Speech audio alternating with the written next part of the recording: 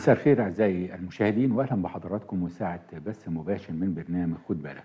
إحنا دايما بنسمع إنه في دعوة قضائية وممكن أمام محكمة جزئية وابتدائية وليها استئناف وليها إجراءات وأيضا أمام محكمة النقض.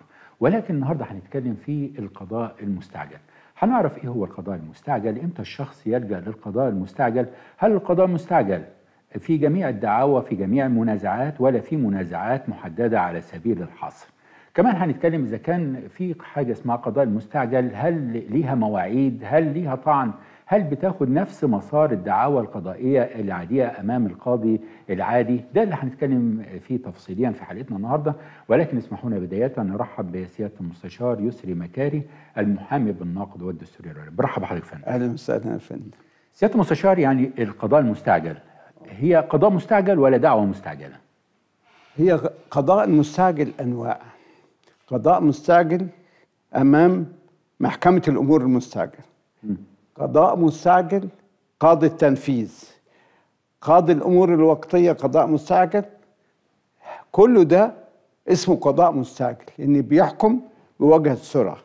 يعني إيه وجه السرعة؟ يعني ما ينتظرش زي قضايا الموضوعية إعلان وإعادة إعلان وبحث الموضوع وبحث الأوراق وخبير وإطلاع على المستقبل لا لا لا لا لا اطلاقا يعني ما بينظرش في صلب الدعوة وبيبص في الأوراق والكلام لا لا لا هو ليه ينظر من ظاهر الأوراق أو يحكم من ظاهر الأوراق وليس له أن يتغلغل في الموضوع. يعني إيه ظاهر الأوراق يا فندم؟ يعني أنا دلوقتي مقدم لي أوراق مثلا إخلاء لعدم سداد القيمة الإيجارية وقانون جديد. تمام. أجي أعمل إيه؟ أبص العقد وإنك أنت أنذرته وخلاص. لا لي أحكم بأن العقد ده صحيح ولا باطل. العقد ده هو ما ممكن يا فندم هنا واقفة. مالك ولا مش مالك. واقفة برضو. يعني أنا دلوقتي مثلا مالك وقدمت العقد وقلت إن انتهت العلاقه الإيجارية.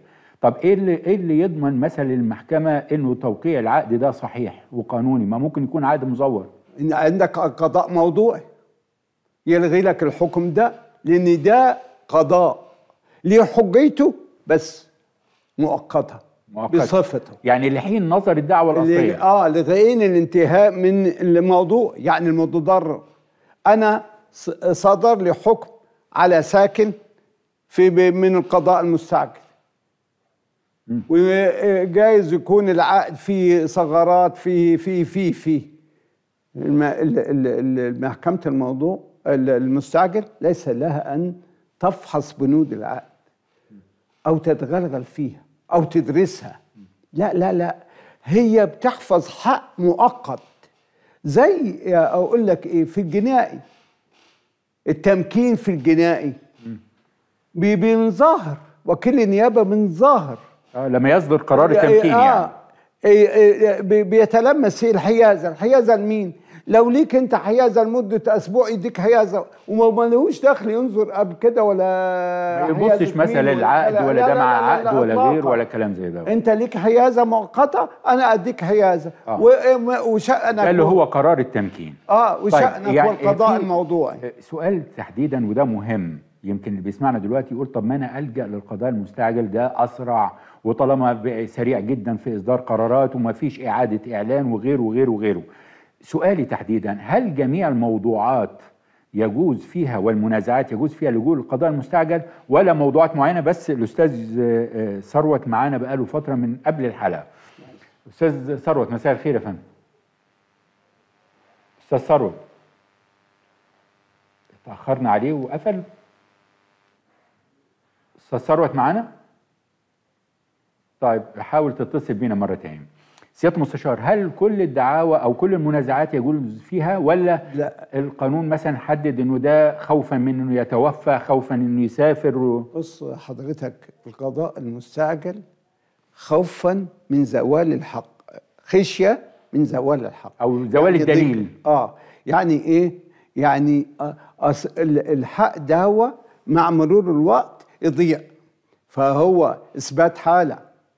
مثلا وعلى وجه السرعة خوفاً إنه واحد مسافر. أي أي آه، مسافر وشهادته مطلوبة في ال- ال- ال- قضاء الموضوع والقضاء الموضوع إعادة إعلان وإعلان وخبير وبتاع وفين لما أطلب آه، شهود فبطلب من القضاء المستعجل هو مسافر أو إن هو في مرض الموت ياخد شهادته خوفا أحسن آه، لا قدر آه، الله آه. يتوفى يعني أيوه آه، واحد بي بي بيعمل تخريب في العقار وخوفا على العقار من الانهيار فوقف أعمال ف يعني القاضي قبل ما بيقبل الدعوة يا يكون- فندم آه. آه، بي- بي- بي- بيقدر الأمور هل دي فعلا تستاهل ولا أيوة. لا وليه وليه رقابة من محكمة النقض عليه هتقول لي إزاي؟ ده جزئي. الجزئي يستأنف والاستئناف دايرة كلية يعتبر استئناف دايرة كلية زيها زي ال ال الأحكام اللي تصدر من الجزء وتستأنف في دايرة كلية لها أن تنقض واللي بس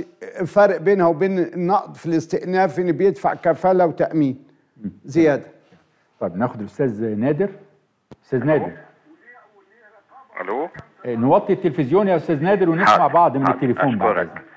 ربنا يقويكم في أعمالكم. إحنا بنشكر حضرتك برنامج حلو وربنا يحافظ عليكم. بتوضحوا حقوق الناس يعني الحق اتفضل يا فندم بالطرق السليمة بقول لحضرتك أنا ليا قضية ضد شركة شركة مياه وفي قضية ضد نعلي صوتنا شوية بقول لحضرتك قضية ضد شركة المية. تمام. وفي خلاص حكمت صيغة تنفيذية بقيمة مادية. هي بسيطة لكن قيمة مادية وخلاص. ال- فدلوقتي إحنا اعلنا الشركة. ال- اللي إحنا الشركة متبعاه انها ما بتنفذش الاحكام. اعلنا فبيقولوا هاتوا لنا الصيغة التنفيذية عشان نطلع لك مستحقاتك. وأنا اخشى ان أنا اسلم الصيغة التنفيذية زي ما حصل مع غيري يمطوحوا يعني يقعدوا فترات طويلة وما بي يعني انت. معاك الصيغة التنفيذية وطالبين الصيغة التنفيذية وحضرتك مش راضي تقدمها خوفا من انها تضيع. خوف خوفا من إنهم ما يدونيش حقي. طب. وبعدين بيقولوا عشان تطلع الصيغة التنفيذية تاني شغلانة طويلة. طب ما انت لازم علشان تنفذ الدعوة. طب نرجع لسيادة المستشار. ودي ده سؤال. السؤال الثاني لو تكرمت. اتفضل. آه، هل دي أنا راجل في المعاش ورفعت القضية من المعاش هل دي لها تأثير على المعاش بتاعي المفروض تزود المعاش بتاعي؟ لا يعني لا السؤال الثاني مش واضح. يعني حضرتك على المعاش ليك مستحقات؟ هاخدها بإذن الله بس المستحقات دي المفروض إنها بترفع المرتب. المستحقات دي نتيجة إن أنا ما خدتهاش في الشركة.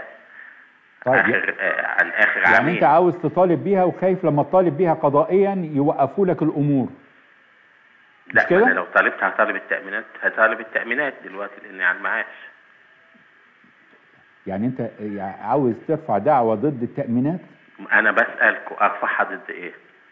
يعني هي المستحقات كانت أثناء خدمة حضرتك. أيوه.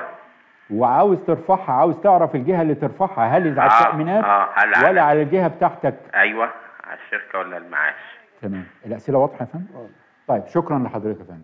بالنسبة للصيغة التنفيذية الصيغه التنفيذية خايف أحسن يسلمها؟ هل ممكن أنا أنفذ دعوة حكم قضائي من غير ما أقدم الصيغة التنفيذية؟ بص حضرتك هو صح ليه حق لكن ذات الشقين الموظفين يعني آه، اللي يجب إن هو يسلم الصورة التنفيذية. ده شرط إنما أساسي. مش هينفذ له غير لما يسلم الصورة التنفيذية من الحكم. طب إزاي يأمن نفسه؟ يأمن نفسه. الموظف اللي يستلم يمضي ويختم له بالختم إنه استلم الأصل هذا الحكم. يعني يصور صورة من الحكم. وأنا من رأيي وده رأيي أنا ما بيتعملش بيه يرسل إنذار رسمي على يد محضر إنه بتاريخ كذا سلمناكم الصورة التنفيذية عشان بعد كده ما يجيش بعد كده بمدة. ويقولوا له الموظف ده راح على المعاش وما لقينش الصورة التنفيذية الموظف ده مش عارف إيه الموظف ده اتحبس الكلام ده. لأن بيحصل آه، حاجات كتيرة في هذا الصدد. تمام. واخد بال حضرتك؟ وبعت له إنذار رسمي على يد محضر ان بتاريخ كذا. سلمنا لكم الصورة التنفيذية واستلمها الموظف الفلاني ورجاء عمل التنفيذ اللازم. كده بيأمن نفسه إنه آه، فعلا بي- سلمها بالطريقة القانونية. بيأمن نفسه. في حالة التراخي يرفع جنحة طبقا المادة 123 عقوبات يقول لهم عدم تنفيذ حكم. قضائي. قضائي. تمام. المتسبب في عدم تنفيذه. طيب الشق الثاني بيقول هو ليه لأن؟ عدم التنف... الجرحه دي يتطلب أول حاجة عشان ينفذ يتطلب انه هو سلم الصورة التنفيذية. يعني شرط أساسي عشان انفذ الدعوة. القضائية أو الحكم آه. لازم أسلم الصيغة التنفيذية. لازم يسلم. اذا لازم تسلم يا أستاذ نادر الصيغة التنفيذية زي ما قال سيادة المستشار. لكن زيادة الاطمئنان ممكن آه، تسليمها عن طريق آه، آه، طريق- على يد آه لا بس آه، يوقع الموظف أمامه على صورة الحكم طب التنفيذي يرضى يا فندم؟ إيه؟ ممكن الموظف يرفض. لا لا لا يمكن. آه. إزاي؟ يعني ممكن. انت مش بتستلمها؟ دي صورة تنفيذية. طب هو هل هو ممكن تتحط بشخصه يا فندم ولا لازم عن طريق محامي؟ ده لو ما استلمهاش اتحطت في الادراج إيه اللي يثبت إن هو الموظف استلمها؟ لما أجي أقاضيه أو أشتكيه. تمام. طيب الشق الثاني من السؤال علشان معانا تليفون تاني آه بيقول إن هو ليه مستحقات لدى الجهة وهو طلع على المعاش والمستحقات دي كانت على الجهة. هل يرفعها ضد التأمينات ولا يرفعها ضد المصلحة اللي كان شغال فيها؟ هل المستحقات دي أثناء تأدية خدمته. أثناء تأدية خدمته؟ يوقع الشركة. لكن إذا كانت مستحقات تأمينية تمام. يعني آه، آه، آه، هيئة التأمينات الاجتماعية يبقى تترفع على هيئة التأمين. لكن آه، مستحقات على الشركة أو على القطاع العام أو خلافه أثناء عمله دي على. طيب معانا الأستاذة سميرة. مساء الخير يا فندم. أستاذة سميرة. أيوه. اتفضلي يا فندم سؤال حضرتك. بص لو سمحت أنا عندي شقة. أيوه. أنا معايا الأستاذ نشأت أيوه معاك يا فندم اتفضلي. طيب أنا كنت مسكنة شقة وبعدين الشقة دي الواحدة ست هي وجوزها. فجت اتوفت من سنة 90 فجوزها دلوقتي أصبح اتجوز. الواحدة تنساه ما خلفش من الأولى ولا خلف من الثانية هل لو هو توفى عشان هو راجل كبير من حق مراته تقعد في الشقة؟ آه آه انت أيوه أستاذ أستاذ سميرة. لو سمحت أنا مسكنه أستاذ سميرة انتظر يا فندم. نستاذنك وطي التلفزيون؟ أستاذة سميرة.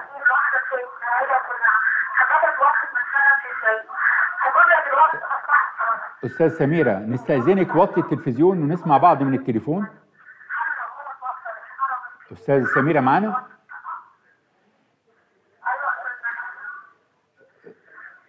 أيوه. أستاذ طيب الأستاذ ميلاد. أيوه.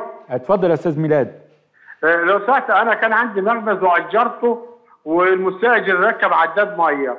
وجاء بعد كده آه، آه، اتوفى والورثة واستلمت منه المخبز. وعداد المية باسمه. شركة المية عايزة أي حد من الورثة يعملوا تنازل ويحوشوا ال- العداد. أيوة. عشان أنا لغيت المخبز خالص. تمام. بس كده ومش قادر عليهم. هم مش مواطنين معايا الورثة ومفيش حد منهم راضي. غير الشيء القانوني اللي أقدر ألغي بيه العداد. يعني انتهت العلاقة الإيجارية وحضرتك استلمت العين وعاوز تحول ولغيت المخبز خالص. ولغيت المخبز. آه بس الع... وعداد الكهرباء لغيته كل حاجة. مفيش غير عداد الميه باسم آه، المتوفي. كان المستأجر القديم خالص. تمام. في أي استفسار يا فندم؟ لا. شكرا أستاذ ميلاد. إذا كان هو واخد حكم قضائي ممكن يقدم هو ما عملش حكم قضائي بس ما هو عملش حكم قضائي. هو آه، آه، ال- ال- ال- عداد المياه ما يثبتش حيازة. اللي يثبت الحيازة الكهرباء. عداد الكهرباء هو اللي بيثبت الحيازة. وعلشان كده لما تيجي تركب عداد كهرباء بيشترط شروط قاسية جدا. بيشترط إن يكون عندك توكيل يشترط يكون الورثة يشترط إن إن إن, إن عندك آه، تسجيل أو حكم آه، صحة ونفاذ. ده ليه؟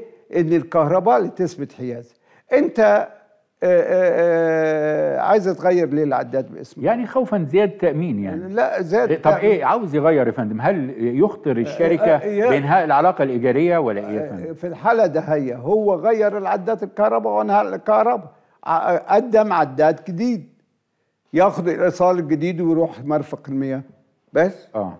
ويطلب تغيير. بناء على الإيصال الجديد. أو بما إنه انتهت العلاقة الإيجارية. إلا ينذرهم بإنذار رسمي أني مرفق المياه؟ آه، ينزل آه، أصحاب الشأن هو يا فندم الورثة. أصحاب الشأن الورثة مش راضيين ينزلوا يروحوا معاه. رسمي تقدم إلى مرفق المياه وإلا سنضطر آسفين اتخاذ الإجراءات القانونية ضدكم ورفع الدعوه في القضاء المستعجل برفع عداد ممكن هنا قضاء مستقل آه. تمام. الأستاذة سميرة رجعت تاني. أستاذ سميرة مساء الخير.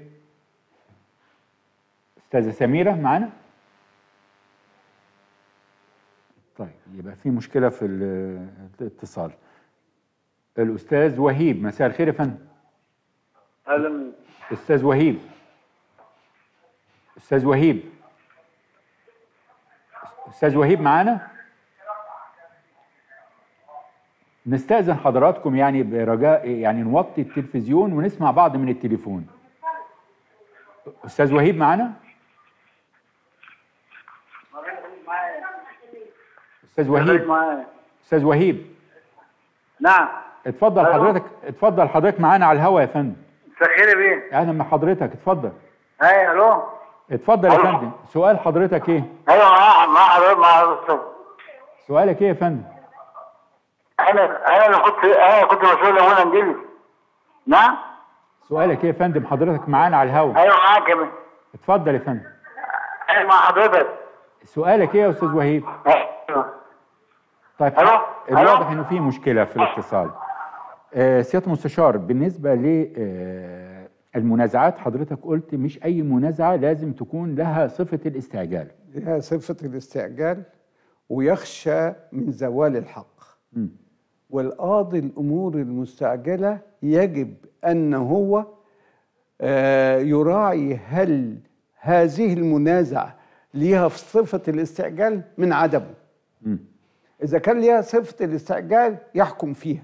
إذا لم يكن لها صفة الاستعجال يقضى بعدم اختصاص المحكمة نوعيا بنظر الدعوة. تمام. طيب المحكمة اللي بتنظر الدعوة المستعجلة يا فندم آه، هل المحكمة الجزئية ولا المحكمة الابتدائية؟ ولا في شروط وفي لا. اللي هو لازم يكون وفقا لقيمة المنازعة قد إيه والمبلغ والكلام الاختصاص لا، ال- القيمي والمكاني والكلام ده؟ القضاء المستعجل كله جزئي. ما فيهوش كلي.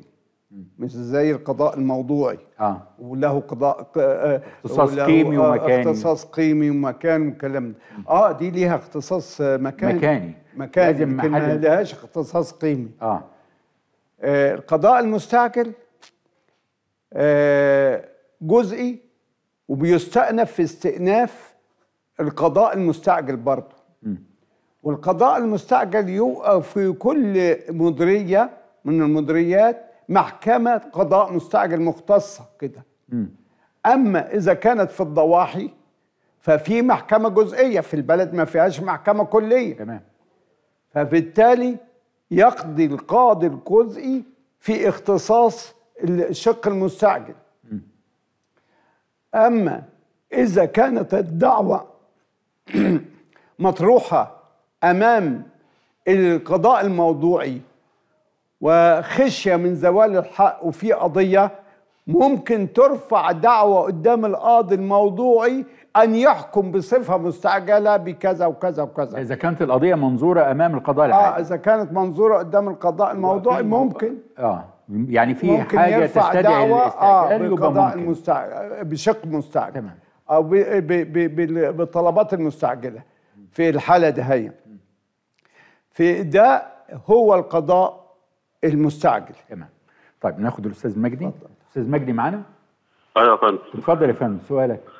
آه بعد إذن حضرتك أنا كان في واحد رافع عليا كاتب فيها عنوان معين يعني عنوان سكنه. حاطط صورة بطاقته اللي فيها نفس العنوان ده. لا مش واضح وبعدين سؤالك. حكم عليا فعلا في أول درجة ب- بفلوسي يعني. أستاذ فأنا جيت أعمل أستاذ على نفس العنوان.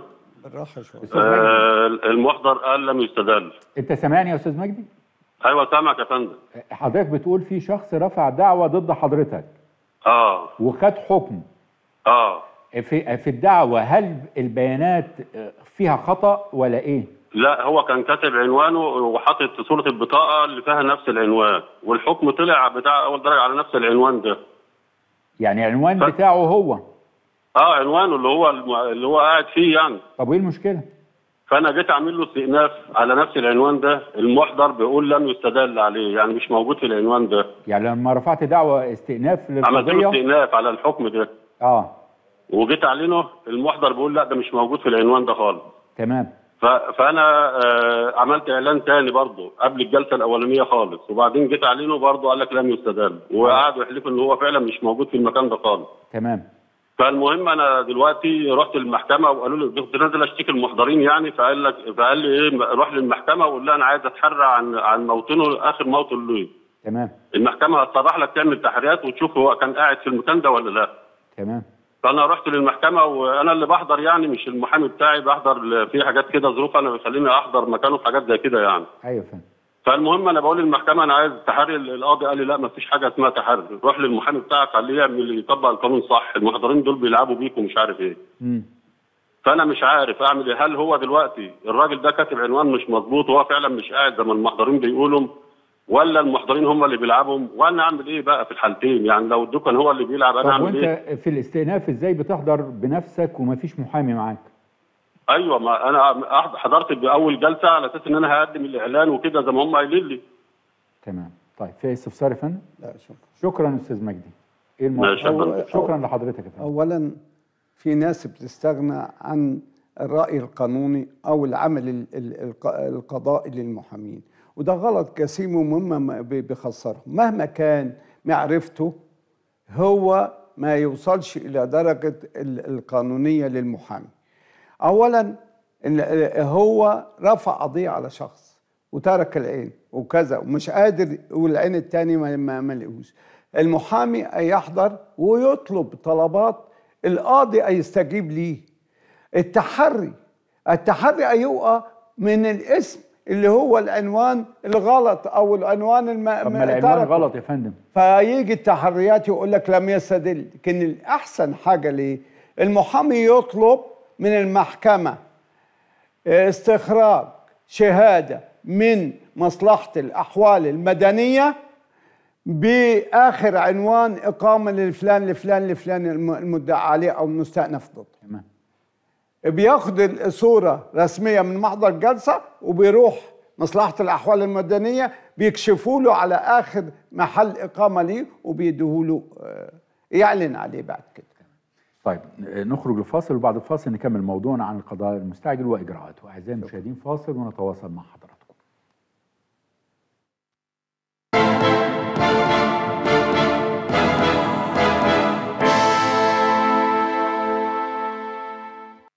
طيب معانا الأستاذة منال. أستاذة منال مساء الخير يا فندم. مساء الخير. ازي حضرتك يا أستاذ بحضرتك طبعا. متشكرين جدا على البرنامج المفيد ده. ربنا يجعله في إحنا ميزانك بنشكر حضراتكم يا فندم. اتفضل. آه طيب. آه سؤالي لسياده المستشار. أنا دلوقتي ليا شريكة آه بالنص في في محل. آه منصفة بعقد مسجل. آه كنا مأجرينه المستأجر وبعدين هو انتهت المدة بتاعته وما حبش يطلع. هي تواطئت معاه وقالت لي لا ده بيدفع كل شهر وكويس و- وبتاع وأنا لا أنا مش همشيه ومش هرفع ضده قضايا وبتاع. تمام. بس ما ينفعش يقعد كده وما ينفعش انت تعملي له منفردة لأن أنا النص وهي النص. قالت لك خلاص براحتك انت خليكي معاه بقى في قضايا وفي محاكم أنا هاخد منه كده وه... وهتصرف معاه وهخليه قاعد بالمحبه كده وهقف ضدك في اي قضايا تعمليها له وبتاع. وريني هترفعي إزاي من غيري. رفعت من غيرها وقدمت ال- العقد وقدمت العقد المسجل بتاعي. المهم ال- بعد تداول في في القضية ست شهور ولا سبع شهور القاضي حكم بتسليم المحل ليا وتسليم الأجرة المتأخرة اللي هي فترة الست شهور دي برضو ضربها المبلغ كله اللي كان مكتوب في العقد وضرب إن المبلغ كله يبقى ليا برضو مسلم ليا.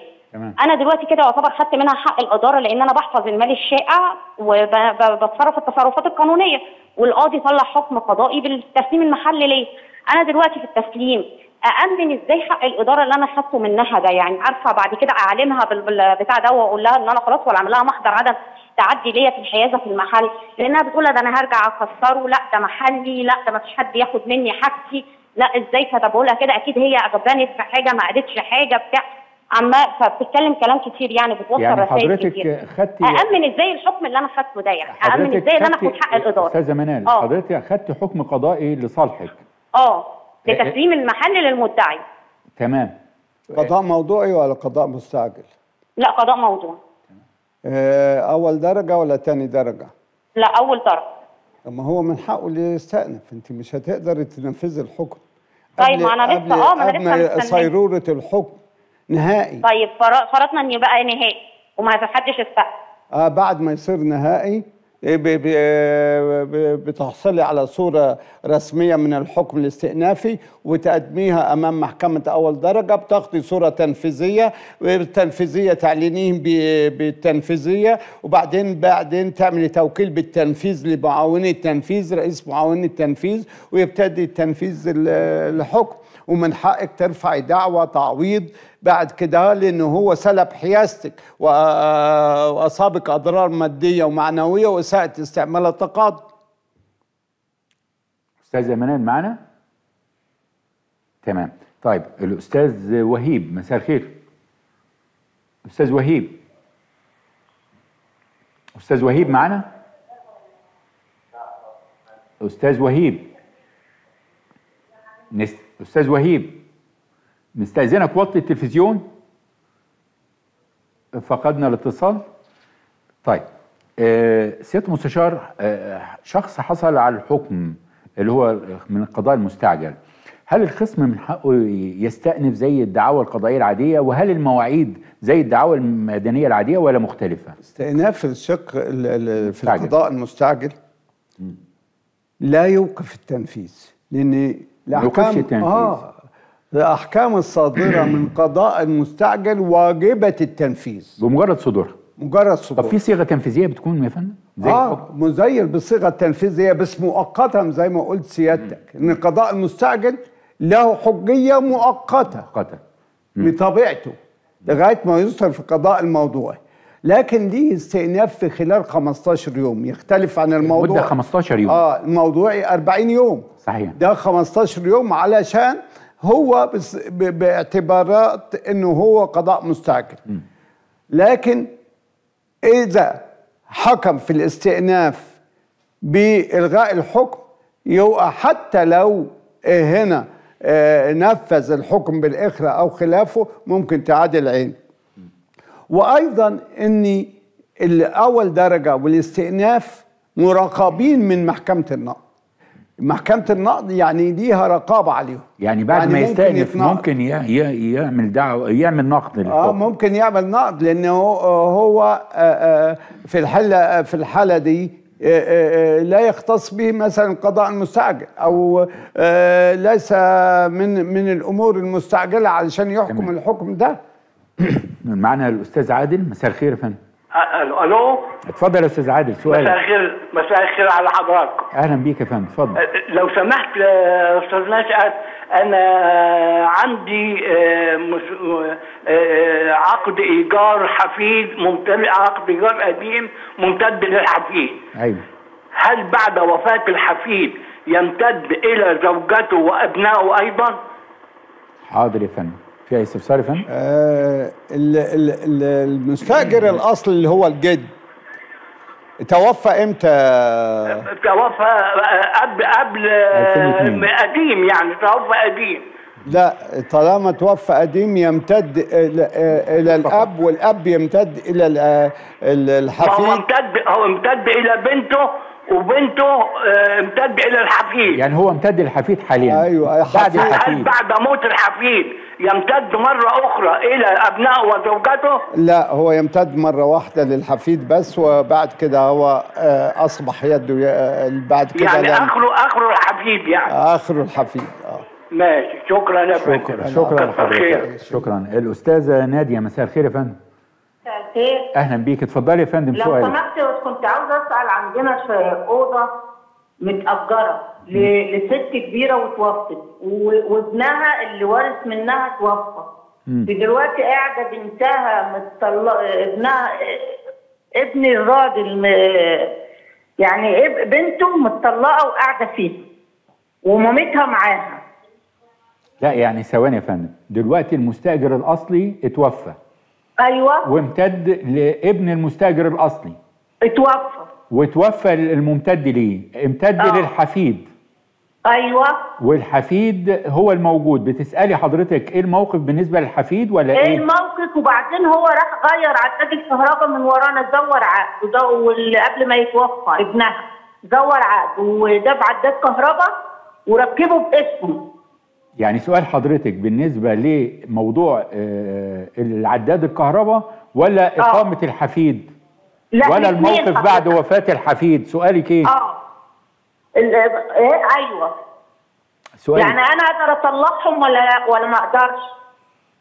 طيب حاضر يا فندم حاضر.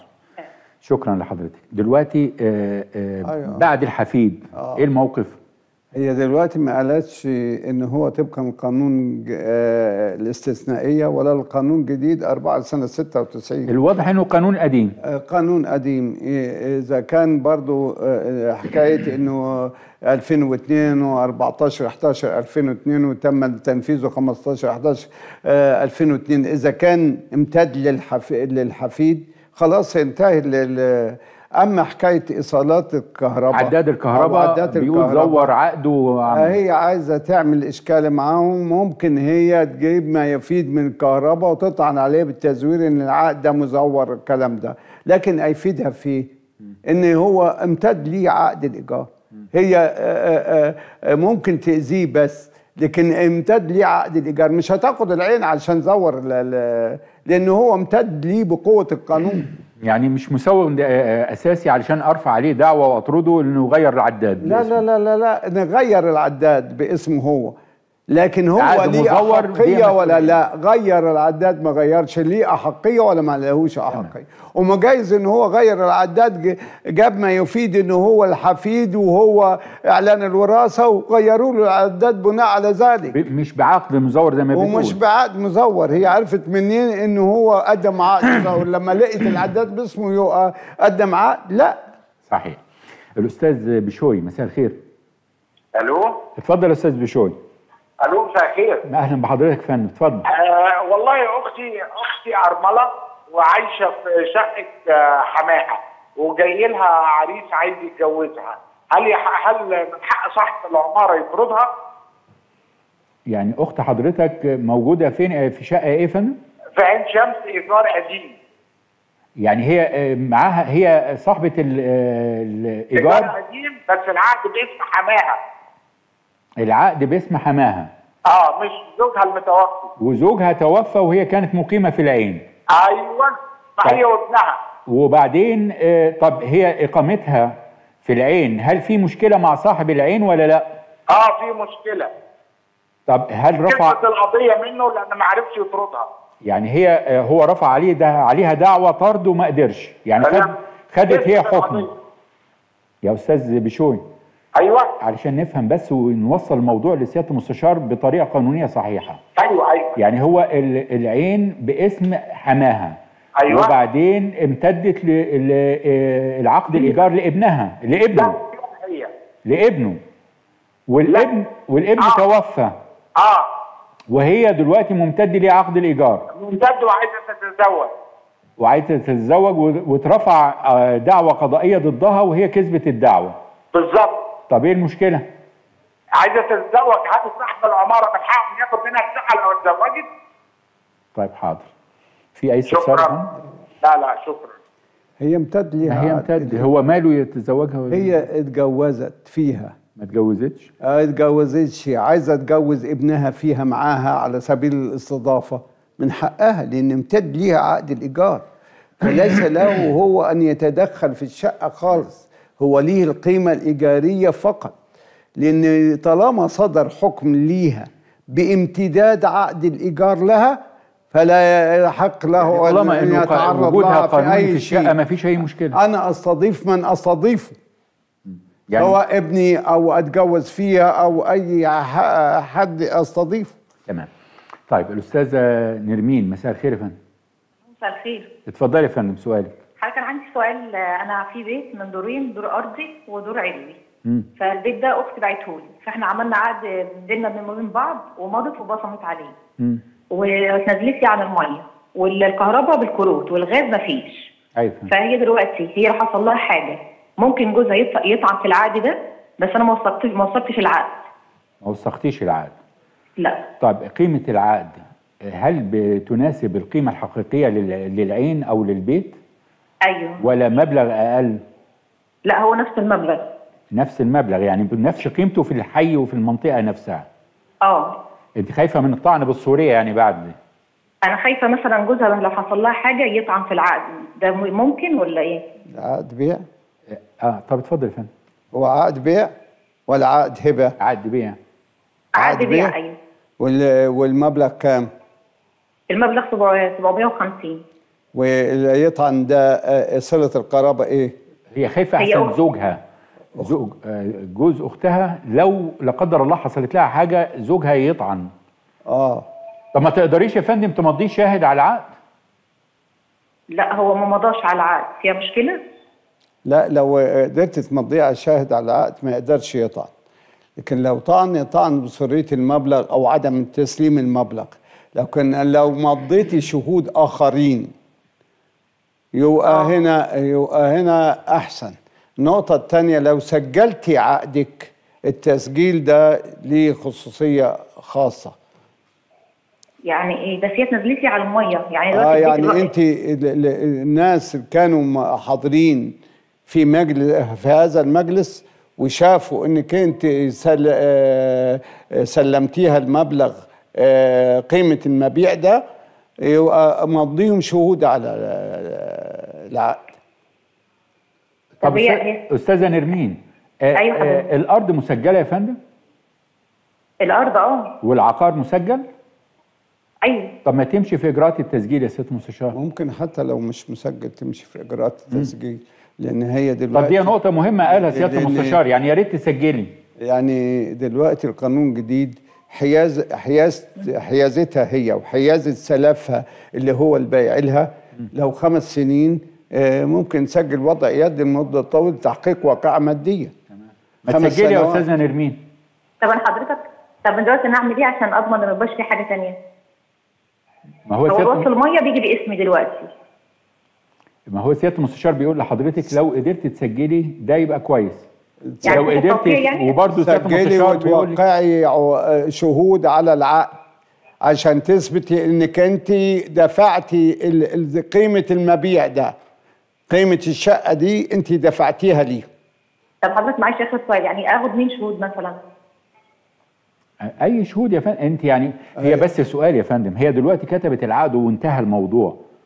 هل ممكن أنا بعد ما أكتب العقد بفترة أمضي شهود؟ ممكن. آه. وممكن تعمل محضر إثبات حالة برضو هي تأمن ال- نفسها خوفاً. أحسن تحصل مشاكل بعدين. آه تعمل محضر إثبات حالة في الاسم تمضيهم على عقد وتعمل محضر إثبات حالة انه كانوا متواجدين أثناء تسليم المبلغ. تمام يا فندم؟ طيب. يعني هو- وبعدين حاجة زي كده لازم شهود يعني أنت إزاي ما, ما, ما مضيتيش أي شهود آه، طالما فيها قرايب وبتاع. لما يكون واحد غريب بنقول ما مش محتاجين شهود لأن الشهود كانت زمان عشان ما فيش بطايق. لكن واحد غريب مش هيجي ويقول لك أنا ما استلمتش قائمه المبيع ولا ان ان إن صورية العقد.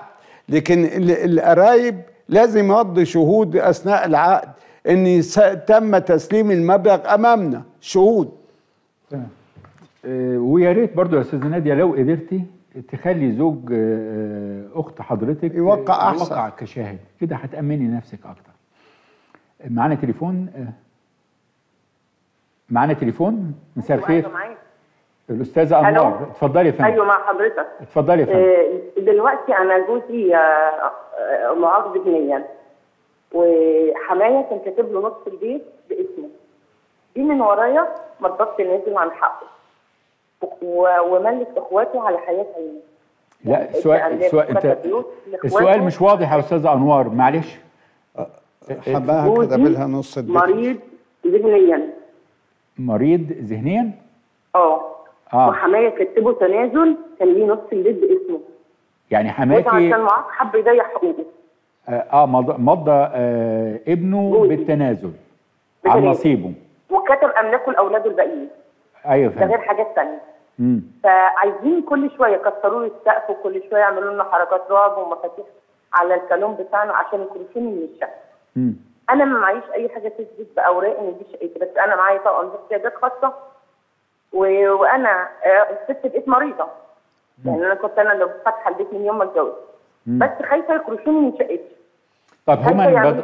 هو حاجة. مضاه على تنازل يا فندم هو كان ليه نصيب ومضاه على تنازل ولا إيه؟ أيوه بالظبط كده نصيب آه، نصيبه آه، بالميراث من نص أبوه البيت لا بالم... ده ده جزء من الميراث كان نص البيت مضبط ناس الميراث من مين؟ من حماية وحماية عايش طب إزاي ميراث يا فندم والراجل عايش؟ هو كان كاتبه باسم ابنه هل ميراث. من والدته؟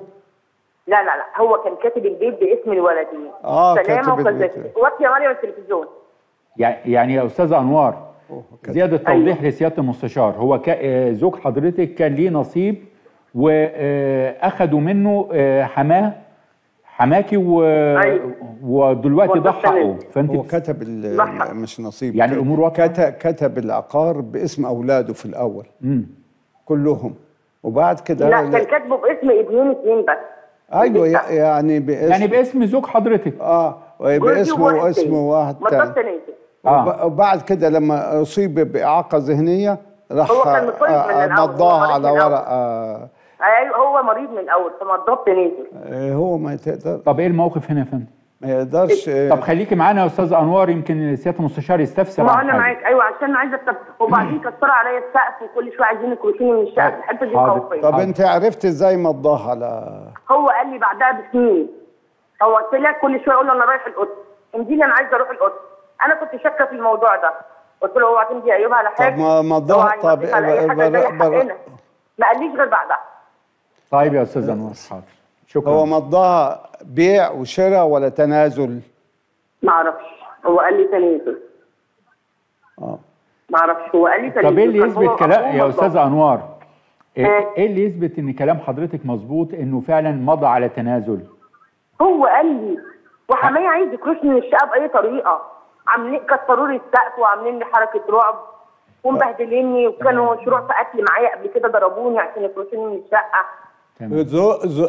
زوجك مريض ذهنيا فعلا ما بيميزش الناس ما لا لا لا لا عنده بياخد علاج اتصال الشخصية ومخه مخه يعني مش مظبوط. ده غير كده اللي بيخاف من أهله مرعوب يعني منهم. يعني في الطب الشرعي يبان انه هو عنده آه. شيزوفرينيا. ومعايا تقارير بعلاجه. أيوه معايا طيب تقارير. ما تح-. احضري عليه. طب اسمعين طب اسمعين. هيقول لك الخطوات إيه؟ شكرا لحضرتك.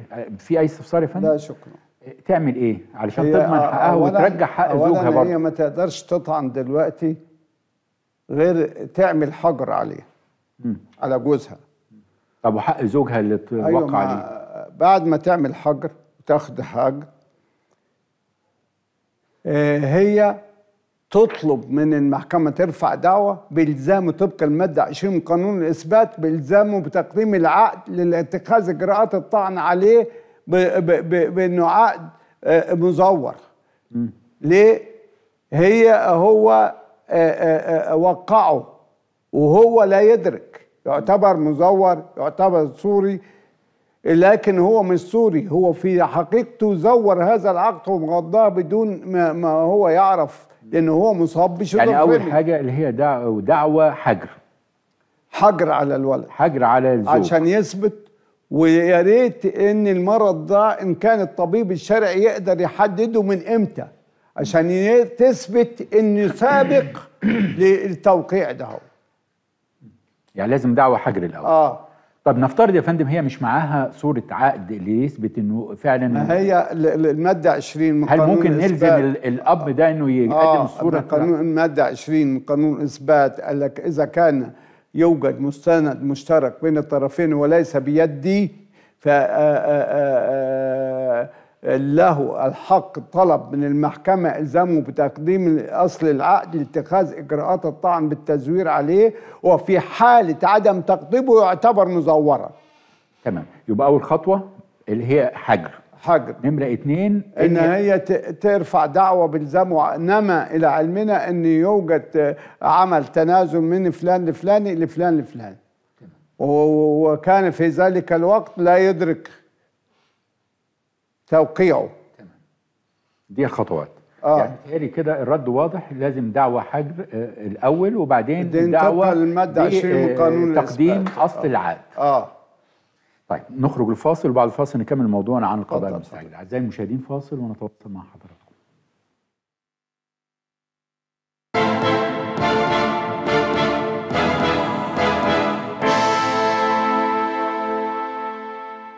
الأستاذ عادل مساء الخير يا أستاذ عادل.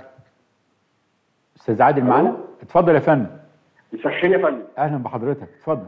ممكن أتكلم أستاذ آه، مستشفى المستشار؟ معاك يا فندم. اتفضل. حضرتك يا فندم أنا كنت بعت مبلغ لواحد آه، 140 ألف جنيه عن طريق البنك. أيوه وبعد كده آه، بعيد عن أي حد يا رب كده اتوفى.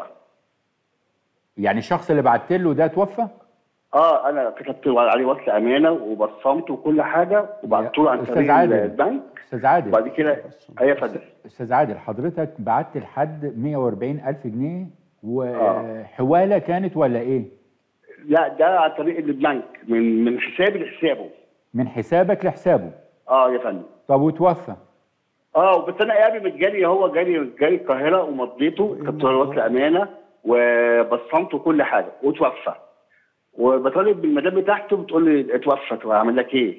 واولاده قصر بصمت وعندهم وعندهم يا أستاذ عادل أستاذ. عادل نعم الأمر مش واضح. يعني أنت بعت الراجل 140 ألف جنيه. تمام. واستلمهم بتبصموا على إيه؟ أنا كان هو كان في شغل بينا.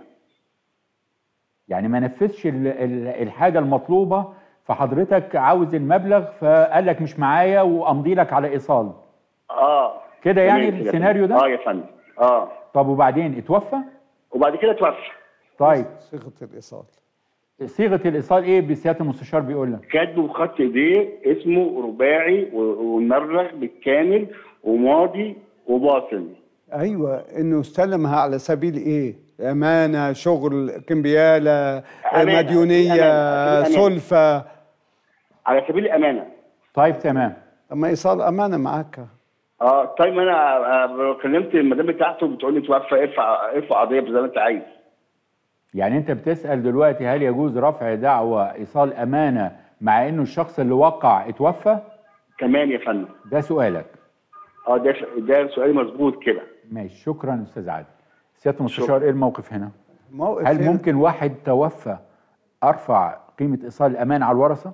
لا أنا أرفع آه، آه، الإيصال الأمانة ده جنحة والج- وال- والجنح أو العقوبة شخصية. مش هروح أنا أنفذ عليه في المدافن. لا يبقى اتحول بالتالي أنا من حقي أرفع على الورثة بقيمة إيصال الأمانة باعتباره إن هو هم ورثة ليه يعني دين مدني. دين مدني ما هو بالقيمة. يبقى دين مدني. كأنه كمبيالة. تحول من إيصال أمانة إلى كمبيالة. يعني بعد وفاة الشخص اللي وقع على إيصال امانه هنا تفقد الجانب الجنائي. والدين والدين الورثة دين مدني. بيه. والورثه ملزمين بيه لكن يتخذ خطوات وإجراءات الدعوة المدنية. الدعوة المدنية وليس الدعوة الجنائية. دي دعوة مدنية. آه، على الورثة إن آه، هو كان مدين لي بمبلغ مثلا 150 ألف جنيه وباعتبارهم ورثة ولازم يجيب ما يفيد إن دول الورثة ويرفع دعواه ويطلب حتى لو هو ما معهوش إعلان وراثة يطلب من المحكمة آه، تصريح له باستخراج إعلان وراثة من محكمة الأسرة. يعني زي ما قال لك سياده المستشار يا أستاذ عادل أنت بتسلك الجانب المدني الجانب الجنائي خلاص انتهى بالوفاة. خلاص انقضت الدعوة انقضت الجنائية الدعوة الجنائية. بالوفاة. تمام. الأستاذ عزيز اتفضل يا فندم. مساء الخير. أهلا بحضرتك اتفضل يا فندم. عايز أكلم المستشار سعد. معاك يا فندم. اتفضل. طيب أنا عندي شقة. كان فيها جماعة قرايبي ساكنين فيها. هو ومراته وتوفت مراته وتوفى هو وابنه وعياله كل واحد معاه شقة. طب سامعني سعادتك؟ ابنه وعياله آه اتوه... آه يعني انتقلوا لشققهم هم اثناء متجوزين من الأول. متجوزين من الأول خالص. تمام. مم. هو كان قاعد في الشقة هو ومراته. تمام. مراته توفت بقالها بتاع سنة ونص. وهو توفى بقاله بتاع 15 يوم. تمام. معاه معاه بنته متجوزة وقاعدة في شقة وجوزها مات. أيوه. وقاعدة في شقه وقاعدة شقتها مفروشه زي ما هي يعني هي بعد وفاة والدها جات عايزة تقعد في الشقة. لا لسه ما جاتش لغاية دلوقتي لسه إحنا ما اتكلمناش في حاجة. تمام. بس إحنا سامعين ان عايزة تيجي. هل الشقة هل يعني. تيجي؟ الشقة مقفولة. آه. طيب ما من حق. من حقه. يرفع عليهم دعوة ولا يعمل إجراء يرفع قانوني دعوة إيه؟ انتهاء عقد الإيجار. يرفع دعوة حاليا. آه هم هم ساعات ساعاتك بقالهم دلوقتي بتاع 20 سنة ما بيدفعش ايجار أنت أحسن حاجة حط قفل على نعم. حط قفل على الشقة علشان ما تجيش. طب ما هو موجود وحاجته موجودة. وماله؟ وعفشته موجود. آه تطلب آه، تمكينها من النيابة. خليها تتمكن. بس إثبات إن الشقة كانت آه، مقفولة. أنا هو- بدي هو لك بدي لك. طب هو اسمعني. مات سعادتك طب بعد إذنك ممكن تسمعني عشان تستفيد؟ اتفضل. أنا بدي لك الإجراء ده ليه علشان هي هتطلب تمكين من النيابة. حتى لو اتمكنت من النيابة على الوجه. لكن التمكين هيقول لك فلان اتوفى وإثبات وممكن التمكين يقول إبقاء الحال على ما كان عليه يعني مقفولة إلى أن يحكم القضاء ال- المدني. انت هترفع دعواك في قضاء المدني ومقفوله بدل ما تيجي ولسه هتفتح وتعمل عفش العفش آه ساعة التنفيذ من القضاء المدني انت بتستلمه على سبيل الأمانة. وبتقعد كده بعد ما تستلمه وبتنزلها بنزل رسم على يد محضر. تعالي استلم المنقولات بتاعتك وإلا اودعها في مخزن وملزمة بقيمة إيجار هذا المخزن. بس.